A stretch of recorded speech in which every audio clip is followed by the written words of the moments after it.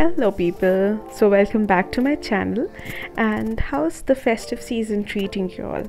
So festive से याद आया करवा चौथ just went by कैसा था आपका preparation and how did it go? So you know today one of my friend was visiting me for lunch and मैंने सोचा जल्दी जल्दी कुछ भी घर में अच्छा सा पकाया जाए। So I thought of making सब matar paneer and lachha paratha for the very first attempt and थोड़ा सा मैंने जीरा राइस भी बना लिया so she was getting late so I just show you all so you know to begin with I don't like the paneer to be कच्चा मैं थोड़ा सा उसको फ्राई कर लेती हूँ. ना in a pan I too can some mustard oil you all know how how much the Biharis in the Bengalis like the mustard oil so उसमें मैंने अनियन को थोड़ा सा फ्राई कर लिया. You don't have to make it you know trans it just has to be translucent don't have to fry it very well ना उसमें मैंने जिंजर गार्लिक पेस्ट ऐड किया। थोड़ा सा नमक as per your taste so that the onion sweat well now I always make tomato puree at home you all can add the fresh tomatoes too the idea is that इनको अच्छे से दोनों को साथ में अच्छे से पकने देना है till the time they blend into each other and you form a fine paste and then we make it okay now साथ में लच्छे पराठे का प्रेपरेशन के लिए just adding a variation I had some ajwain has you all know in the garden so उसमें थोड़ा सा यू नो आटे में सॉल्ट ऐड किया, थोड़ा सा अजवाइन ऐड किया and let it set now in a pan again I same pan I took in some jeera some lal mirch Kashmiri lal mirch and added that blend जो tomato and onion का blend था I just add an in here now see lachha paratha कैसे बनाया था मैंने? Simple एक रोटी short आप बना लीजिए। उसके बाद इस पर अच्छे से घी स्प्रेड कर लीजिए, okay? Now spread in some, just dust in some जो भी डस्ट है आपका आटे का, वो कर लीजिए। And then you need to form you know just make pleats out of it जैसे हम साड़ियों में प्लीट्स बनाते हैं, वैसे ही।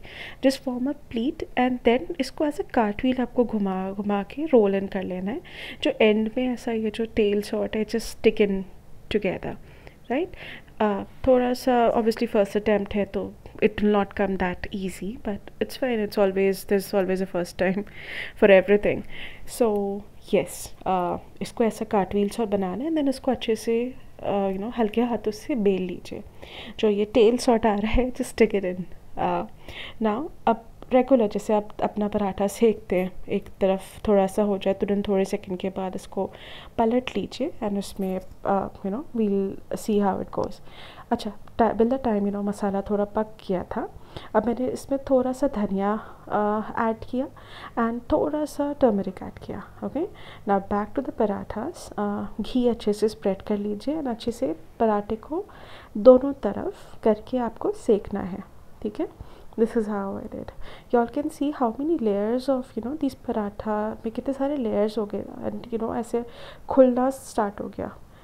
So, जैसे मेरा मसाला थोड़ा पक गया था since I had frozen peas I added the pea and the paneer together because मैं थोड़ा जल्दीबाजी में थी because my husband had to leave early so मैंने दोनों ऐड कर दिया टिल द टाइम वो थोड़ा सा together fry hua i just added water for the gravy. You all can always adjust the water as per your convenience.